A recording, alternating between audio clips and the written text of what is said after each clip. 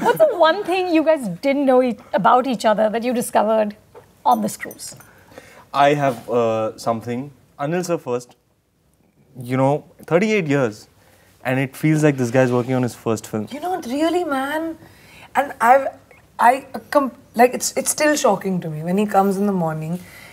You know, even we are tired. Yeah, I get tired sometimes after working for all these years that I have also. Okay, you know, you don't have that same level of excitement for a second. You wait, you conserve the energy for action and cut ke beech mein. But he walks in with, as if you know, the childlike first film. You know, when you when you tell your mom all your life, like Ranveer, ki, I want to grow up and be an actor, and then you become one.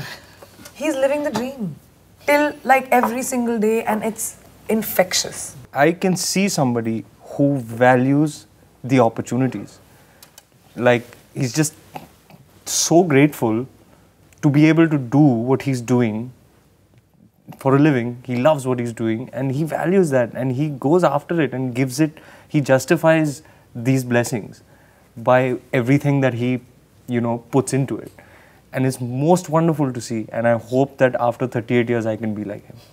Hey everyone, subscribe to Film Companion Hit that button below to get your film fix. right now.